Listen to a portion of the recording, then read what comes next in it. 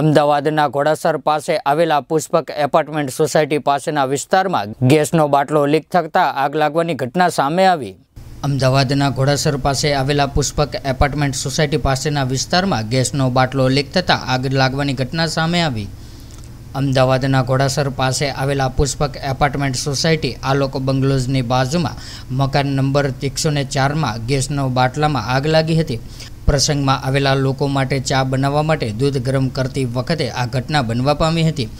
ઘટનાની જાણ ફાયર વિભાગને કરવામાં આવતા તાત્કાલિક ધોરણે ફાયર વિભાગ દ્વારા ઘટના સ્થળે પહોંચીને બાટલો બ્લાસ્ટ થાય તે પહેલાં જ સમય સૂચકતા વાપરીને સ્થળ પર જઈને સંપૂર્ણપણે આગ પર કાબૂ મેળવ્યો હતો.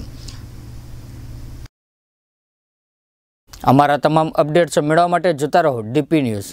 Subscribe now and press the bell icon. Never miss an update.